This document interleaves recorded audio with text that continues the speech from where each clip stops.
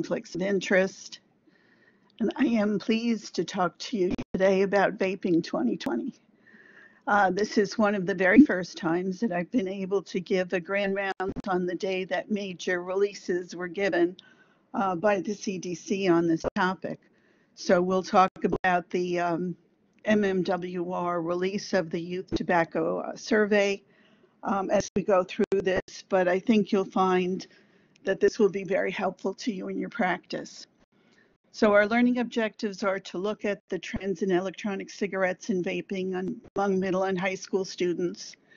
We'll talk about the road to addiction, the impact of nicotine and flavorings, and the respiratory consequences of vaping, as well as EVALI. We will not be talking about um, electronic cigarettes as a potential uh, cessation device, as you might have heard of with the adults, um, but this is not something that has strong support.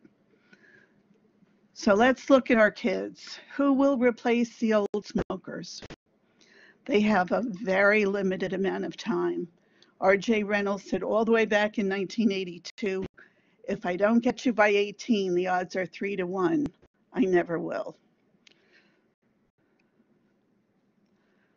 So what, how is the tobacco industry responding? They spend more than a million dollars every hour of every day to get our children involved in tobacco, whether it's cigarette smoking or vaping. So it's a very large commitment on their part, something that has not been matched by the public health um, organizations. So as you might expect, these are the usual suspects that uh, are involved in the vaping products. Some of these brands you'll recognize right away. The company that sells Kool sells Blue, Marlboro sells Mark 10, Camel sells Vuse. But the um, vape product that has the largest market share, has about three quarters of the market share as of uh, 2019, is Juul. And while Juul is not technically owned by Big Tobacco, the Altria Group, which is the maker of Marlboro, invested $12.8 billion last year, giving it a 35% stake in that company. Now, what's interesting when I went back to look at this, the easiest way for me to find the information was through Investopedia. And it quotes one of the Juul founders speaking to its shareholders, saying that Juul uses a proprietary nicotine, which delivers a bigger punch as compared to similar products on the market owing to the fact that it contains 10 times as much nicotine as other e-cigarettes. He said the idea behind the blend was to eliminate the need for smokers to go back to cigarettes after an unsatisfying experience with vaping. Now, our experience with Juul is relatively short. It was first introduced into the market in 2015. Now, for the pediatricians who've been in practice for a while, you may be able to pick out the one advertisement that comes from the Smithsonian, and you can see it right dead center, the guy with the skateboard or the surfboard. I'm not quite sure which one that is, but in any case, that's the one from the Smithsonian, and all around that, you can see all of the um, examples of ads for e-cigarettes. Notice that there are subtle words hidden in there that are sub- a little bit subliminal things like success, and you can look around and see that um, the people who vape are very popular, having very good times. They're invited to parties, they play music, and if you're not one of those party people, you can have your e cigarettes delivered directly to your home. Now, we know that teens spend an average of seven hours, almost seven and a half hours on their phones a day. So very frequently, one of the major ways that they're going to communicate with your children are going to be on social media. So even when the FDA required Juul to take down some of its ads targeting uh, children on Facebook, the kids were promoting this on their own. So here are some interesting quotes there, but they're pretty much similar, so we'll go through them quickly um, as you saw with the maker of Juul. But basically, these people are very, very good at looking at developmental pediatrics. They know what the uh, psychosocial issues are with teens. And so this was the first one um, was from Why One Smokes. And they said smoking is a, smoking a cigarette for the beginner is a symbolic act. I'm not my mother's child. I'm tough. I'm an adventurer. I'm not square. And that's exactly what you saw in all of those advertisements, all the way back from the Smithsonian to current day. The second one is also from some thoughts about new brands. This was um, R.J. Reynolds again. And he talks about the developing self self image of the young person. It needs all the support and enhancement that it can get. And we know that smoking seems to um, enhance that image. It's been deliberately marketed that way, and you can see it in all of their ads. So kids are exposed to e-cigarette advertisements everywhere. TV, media, retail stores. And not only are they exposed to the advertisements, but they can go online and not only learn how to vape, they can compete in vaping competitions. Previously, people were concerned about the smell of tobacco. Well, now you can smell like cotton candy or sweet fruit or all sorts of different things. And you can see on the bottom left-hand side all of the different ways um, that different age groups are targeted. And you can see that there's tremendous exposure. In fact, one of the most frequent exposures is point of sale marketing, and it will actually double the likelihood that you will try either smoking or vaping. And we know that we've got to get these kids before they're 18. It makes a big difference in the addiction rates and the um, ability for people to get them to combat. So one third of the teenage experimentation with smoking can be directly attributed to tobacco marketing and retail.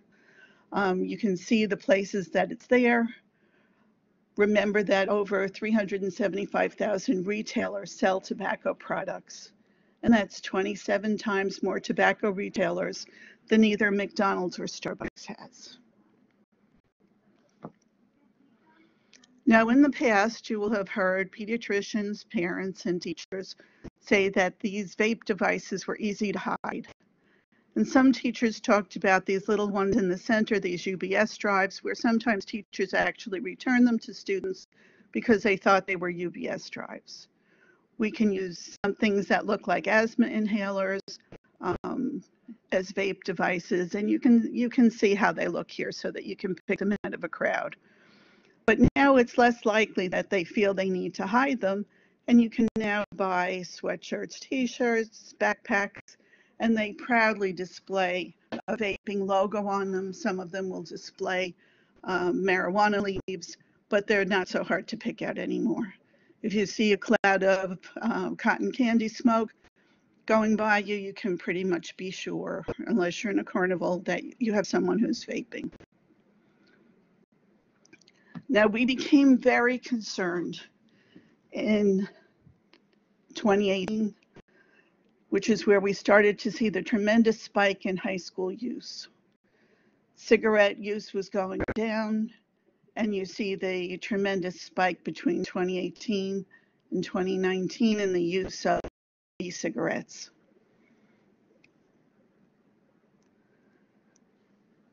And when people asked kids what they were vaping, they said, oh, well, I'm not vaping tobacco. I'm not vaping, you know, there's no tobacco in here. Um, I'm just vaping flavors. But they were buying Juul.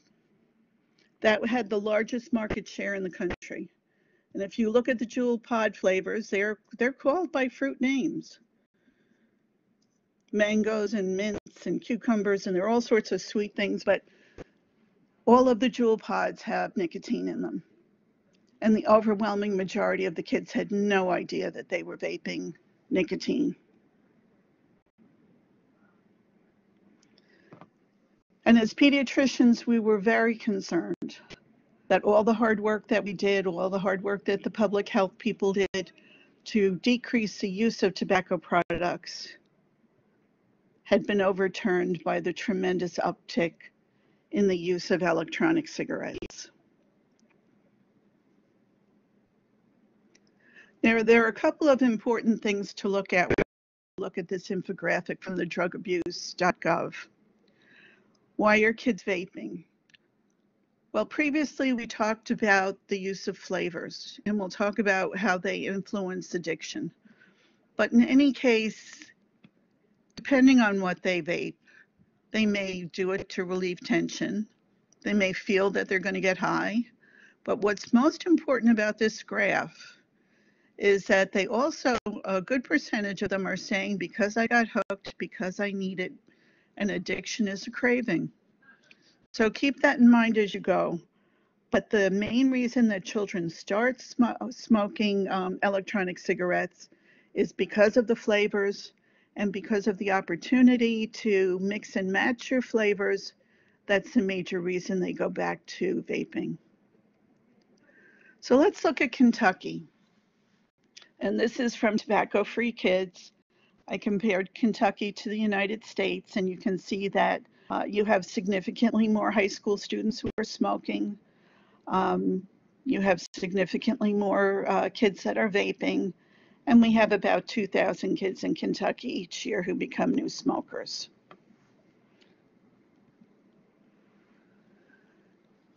In the projections that come from your state, they say there are kids now who are under 18 who are alive but will die prematurely from smoking. That's a pretty big number. And your annual health care costs are quite significant as well. So this is released today. Uh, it was in pre-publication a couple of days ago, but I had the opportunity to to see it, but it's officially published in the MMWR today. And this was interesting because the National Youth Tobacco Survey does particular groups of months where they survey kids, and they chose to survey uh, in 2020 between January 16th and March 16th. So this is directly before the the height of our COVID pandemic. And it's interesting because the number of kids that were using e-cigarettes went down by about 1.8 million. I could have explained and made a beautiful story if I wanted to put this at COVID, but it didn't work out that way. I have made a beautiful story um, when I say there was a notable uptick in the use of disposable e-cigarettes by youth, but this wasn't COVID. So it's unclear yet why this happened, but yet during this time, when they looked at the overall usage of e-cigarettes, it was still the flavored um, types in all of the devices. So we still have 3.6 million US youth still using e-cigarettes. And most of them are still going for the flavored e-cigarettes, which is interesting because Juul took them, um, you know, had restricted the flavors but there is still a lot of mix and match. And that's what I, I'm going to caution you as we start to go through the pulmonary consequences. Be careful of the things that are made on the street. Now, just to remind everybody um, about the evolution of e-cigarettes, and this is probably more important now that we say uh, there's an uptick in the use of disposable cigarettes because these are first generation. Um, take a look at the four that we have. We have disposable cigarettes, which are the first generation. And then for two, three, and four, they're all refillable, which means that I can mix my own combinations. So the disposable cigarette is uh, not rechargeable, not refillable, has to be discarded at the end and looks like a cigarette. So sometimes we call them cigalikes. The second generation ones, you can put anything you please in it. You can put a little bit of nicotine, you can put some THC, you can put flavorings, um, and there's a battery and you heat it. But we're not burning tobacco leaves, but we're heating a solution that contains nicotine and potentially other substances as well. The third generation is also rechargeable. You can use it multiple times. The problem with many of these multiple time uh, use devices is that people The third generation, called the sub-ohm tank, contains low resistance coils. And as you looked at some of the pictures before, and you'll see as we move forward, um, our teens have learned a little bit of chemistry. They know how to get a stronger hit of nicotine. Um, they've learned how to get higher doses. They've learned how to get um, the combinations to be delivered to a bigger plume.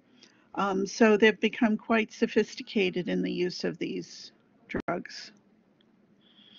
And then the fourth generation, which is what you see most commonly now, uh, you can see the, the, difference between the free uh, base nicotine that you see in conventional tobacco to the nicotine salts, which are much more acidic in the vape devices. And lastly, we'll talk a little bit about vaporizers. This is another way to um, deliver these medications or these um, substances. You can heat marijuana to a point where the active ingredient is in an aerosol as you breathe it. Um, you can add waxes and oils, and this has become a major problem, particularly as we move forward and talk about EVALI.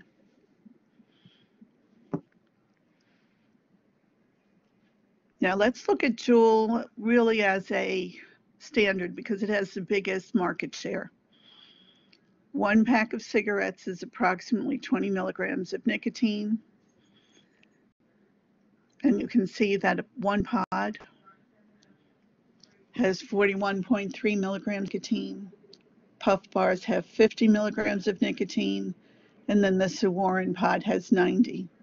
So look at the conversions and you'll see that kids are taking tremendous amounts of nicotine.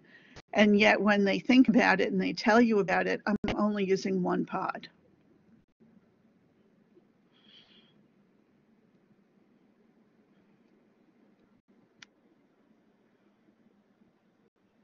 This came from tobacco prevention. I wasn't sure it was going to go ahead and do this. Okay, so all of them have high levels. You can also drip, gives you a larger plume, gives you a little more flavor, gives you a thicker cloud.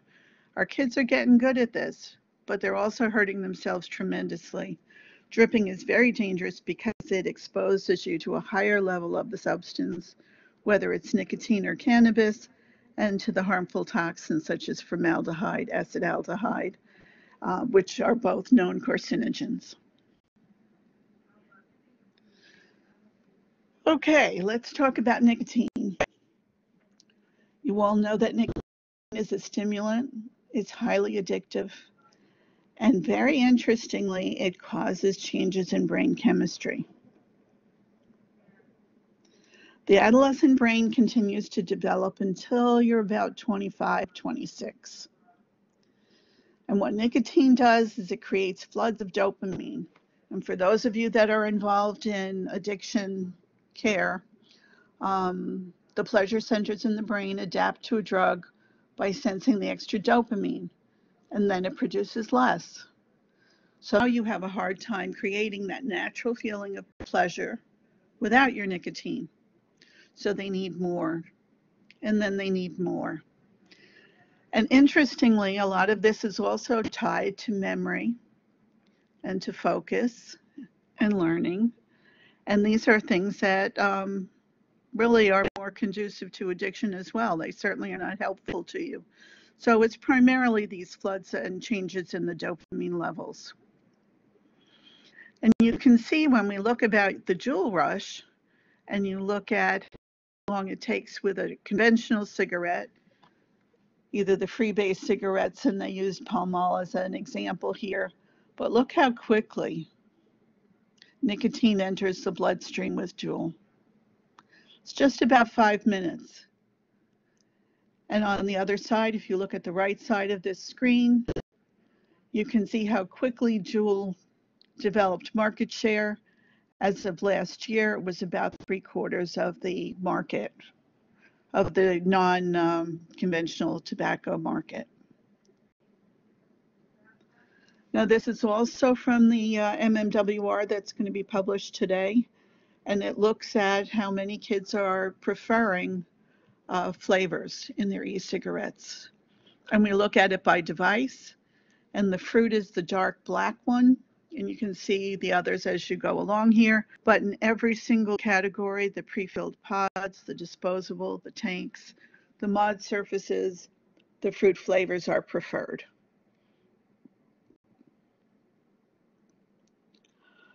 What else is in the vape uh, aerosol? What else is in the tobacco smoke? There are variable amounts of volatile organic compounds, nicotine, ultrafine particles, cancer containing chemicals, heavy metals, and then your flavorings. But remember, when we talk about these flavorings, things like diacetyl, while they're used in food products eh, without any harm, they were never meant to be smoked. Keep in mind here that as you look at um, many of the commercially available uh, e-liquids, that many of them that say they're nicotine free are not. Many of the amounts that are listed on the label have not proven to be true. Another concern that we need to have as pediatricians is to look at the marijuana use. Now here um, in Miech's study, which was again just published this year, look at the difference in the marijuana use in eighth graders because those are our re really our future users. So from 2017 to 2019, it's almost doubled. It's gone from in the fours to the eights. Look at the 10th graders from the fours to the nines. Um, and the 12th graders, again, it's nearly doubled. So these are tremendous numbers. We need to start uh, educating our children, our students, now that we're back at school. Um, it's really middle school that we have to go after because by the time you're um, in high school, it may be more, much more difficult to talk about cessation techniques. In terms of behavior, once you've started smoking, it's much harder uh, to quit. If we look at prevention statistics in pediatrics versus cessation techniques in the high schools, prevention is far more effective. We know that when we're talking about the pleasure sensors and the, the pleasure sensor, centers in the brain, um, e-cigarette use is linked to use of other illicit substances, including marijuana, recreational marijuana, um, also cocaine, alcohol, and some of the other drugs as well. Okay. Now we're going to move on to some of the potential respiratory consequences of vaping. We all um, were interested in EVALI and remember that we have over 2,500 hospitalized cases, 60 fatalities, um, and KIT would have documented use and diagnosed EVALI down to age 13. Uh, we've had two pediatric deaths in the New York area, one in New York City and one in New Jersey. So it's something that we really have to pay attention to. Now, when we have acute exposure to vaping, there's damage to airway cells, macrophages, and there's a decrease in neutrophil antimicrobial function. So you have a problem with fighting infection, you have a problem with immunity, um, just like you may with tobacco smoke. You'll see increased mucus production at mucociliary clearance, and that's a hallmark of airway inflammation. Doesn't tell you what the inflammation is caused by, but it's certainly there. And so it should not be a surprise to you that we're seeing new cases of asthma and we're seeing asthma exacerbations in kids who vape.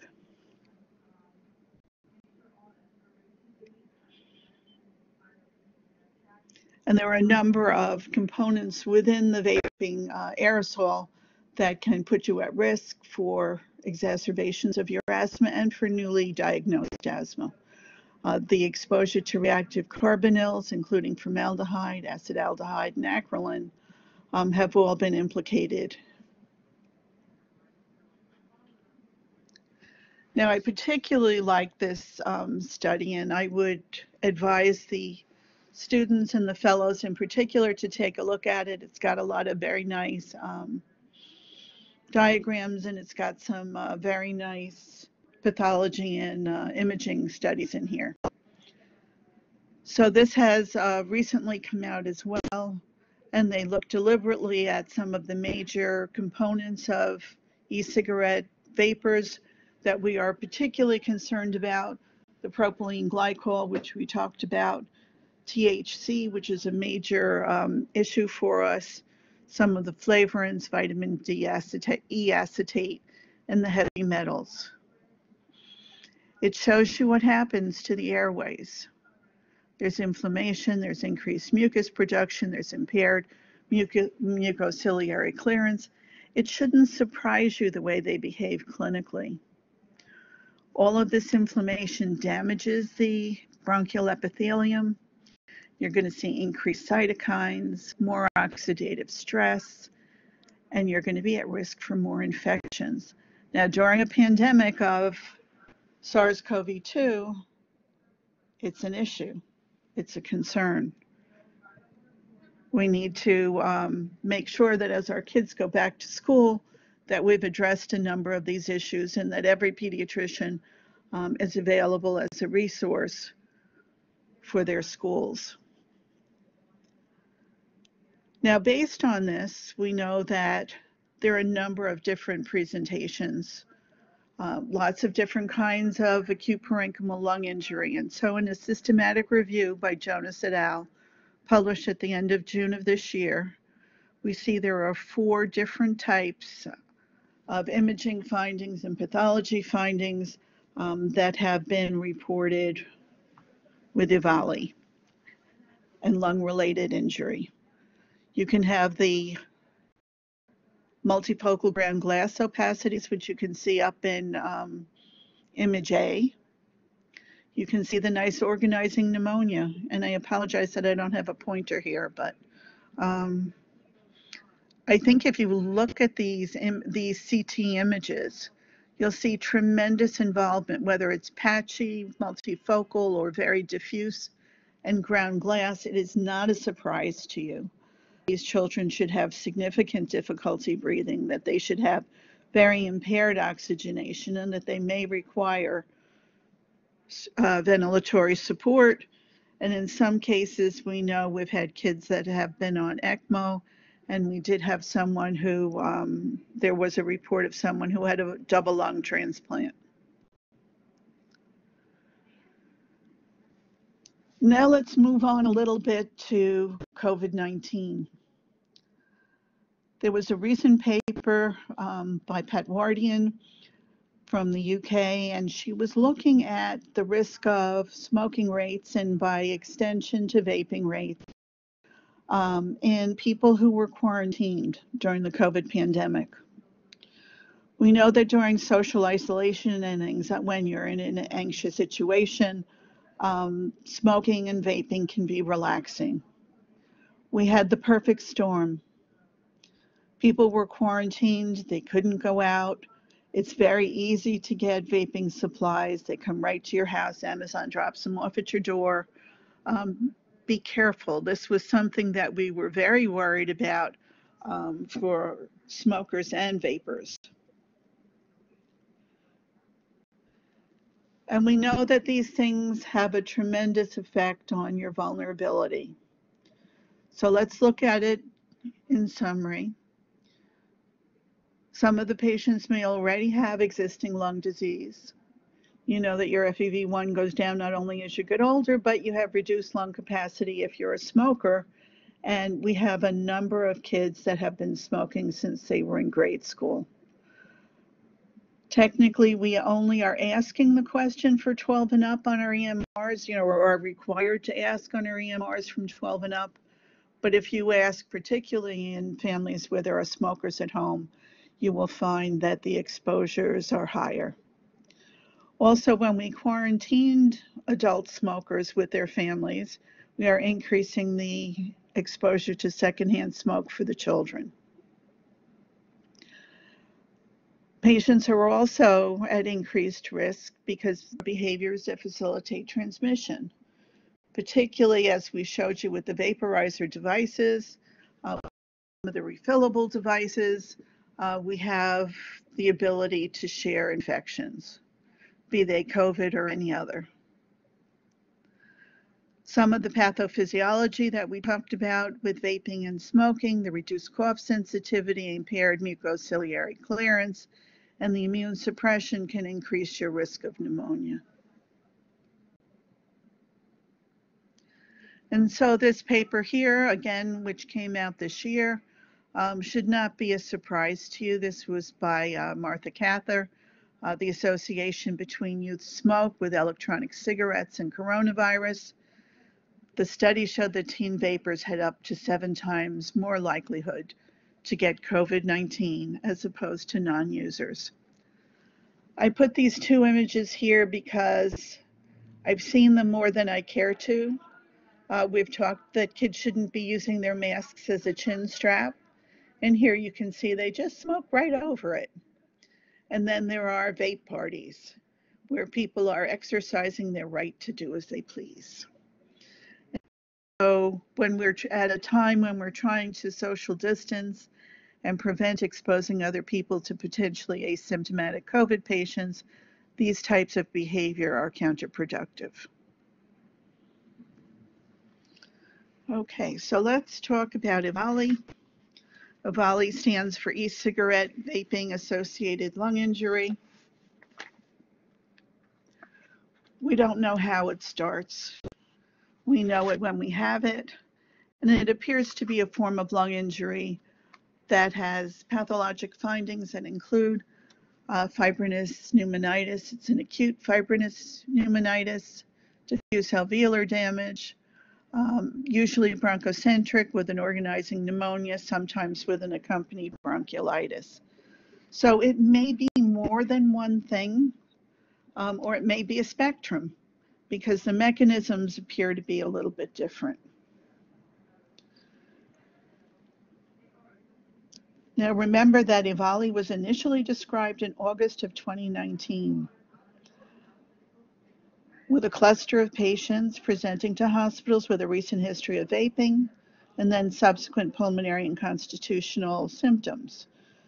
So as of February this year, which is really a, a relatively short time since it was initially described, there were 2,800 hospitalized cases and 66 deaths.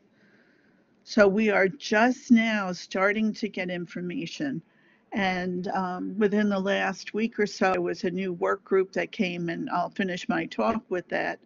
Um, but we still have a lot to learn. So the potential candidates have to do with THC, vitamin E acetate, and nicotine. When we talk about the other oils, there's a lot we don't know in here. And it's very important when you talk to patients where you may suspect the diagnosis to get your hands on, if you can, a sample of what they use to smoke. Many times when I've had that experience and I've tried to do it, they're not willing to give up a dealer. Um, but nonetheless, if you can get it, it's usually um, not the commercial ones that are giving people trouble. So the clinical features are fairly well um, put together at this point in time. The mean duration of symptoms prior to presentation is generally around six days, but it can range from zero to two months. And approximately one third of the patients will progress to acute respiratory failure. Some will require uh, support. Um, and as we said before, I do know of one patient who had a double lung transplant. I do know of a 17 year old that died. Um, there are these reports are on the CDC website, but you're going to read about, I'm sure you're going to have a chance to read more about them as time goes on. But when you looked at those CT scans, it should be no surprise to you that um, the respiratory symptoms are exactly what they are because they can have acute pulmonary hemorrhages. You may see some hemoptysis. They can be short of breath, have a cough, chest pain, but gastrointestinal symptoms can occur as well, and they're here. So we suspect EVALI in patients who vape or use other e-cigarette related products, who develop pneumonia-like symptoms, with progressive dyspnea or worsening hypoxemia. Now, in the workups, we're going to be concerned about all the other things that can do this besides vaping. And so you'll see when we start to take our history that we're looking for other exposures, that we're looking at um, pulmonary toxic medications, activities that can give you hypersensitivity, pneumonitis. We're looking for other things. But if we see the opacities on imaging, we're going to think a little harder on it. So some of the labs that are done, and this is from the interim guidance uh, from the uh, MMWR in October of 19. And you'll see we are again looking for evidence of inflammatory markers. We're considering all the viral pathologies. We talked about um, gastrointestinal issues on the slide before, although I'm not going to focus on the um, GI components of this um, and certainly your, your blood counts. Now, if you have a patient who behaves atypically or who is hypoxic, you have no questions that you're going to go ahead and do the chest x-ray. And you're going to consider a number of various patterns, and we showed you some of them, the diffuse alveolar damage, the eosinophilic uh, pneumonia, the hypersensitivity pneumonitis, organizing or lipoid pneumonia, but bilateral opacities are common right across the board. So you may um, have great help um, and you will do it appropriately if you have uh, need to do a high resolution CT. Now in August of this year, there was a paper that was presented looking at pathologic specimens there were 10 which were biopsy specimens and 11 autopsies. The biopsy cases most frequently showed diffuse alveolar damage, with a small amount having an organizing pneumonia, and the autopsies overwhelmingly showed diffuse alveolar damage. And there were a few other uh, cases in here. I have have them listed for you, um, but overwhelmingly the answer was diffuse alveolar damage, and this was just uh, published. Now, what about bronchoalveolar lavage? We decide on a case-by-case -case basis. There is no strict rule about um, a particular algorithm to follow, but you know that um, infections such as influenza, mycoplasma, fungal and viral pathogens can uh, certainly give you pictures that look like this. The cell counts from your BAL, the cytopathology, and all of your infectious studies can help point you in that direction. You can't sell your soul on your cell counts because they can be variable, but neutrophils have been shown to be increased in about 91%. Lipid-laden macrophages, which are frequently seen with aspiration, are common, but not specific to this population.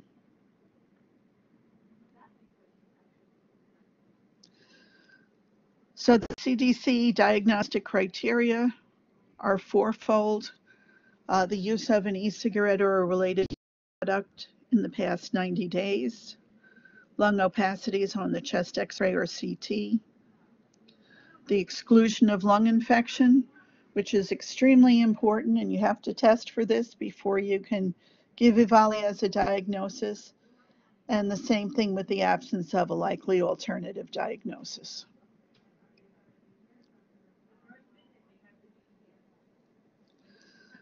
So where are we? This is the state of EVALI in 2020.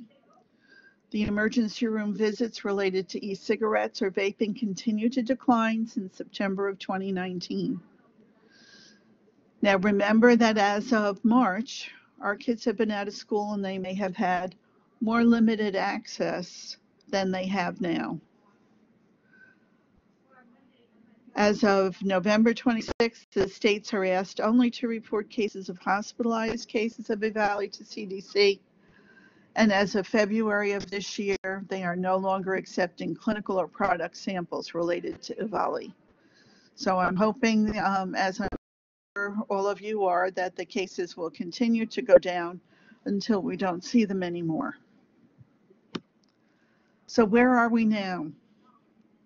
We don't know if it's over, and we don't know as school starts whether the numbers are going to increase. So the NIH released a workshop report, and they are asking for more biospecimens from EVALI patients. They're trying to define the, the pathogenesis of EVALI and to define the risks of vaping as they differ from the risks of smoking. And then to broaden e-cigarette research beyond the comparators to tobacco smoke and tobacco smoke related diseases. So we still have a long way to go. Um, many of the pediatricians who are in the group may be asked by their school districts to come and speak about it because there still is a good amount of concern. Um, we have concerns not only about influenza and COVID as the fall progresses, but also about some of the behaviors and some of the um, opportunities that students will have as they go back to school. So I will make that my last slide and see if anyone has any questions. I thank you for your attention. Thank you, Dr. Cataletto. There are no questions in the chat, so if anyone has any questions, you may go ahead and unmute your microphones at this time.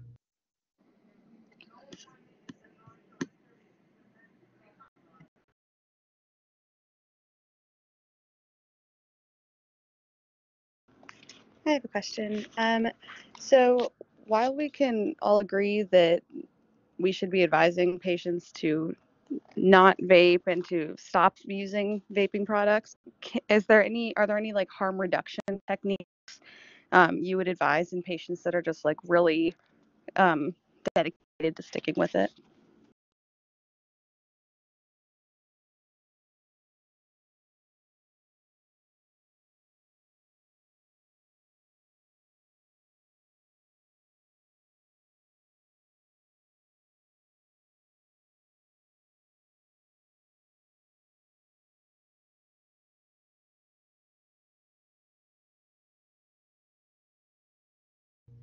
I think Dr. Cataletto accidentally left the session. Um, so I will go ahead and post her email address in the chat one more time. So um, any questions, you can connect with her offline. Thanks everyone for joining.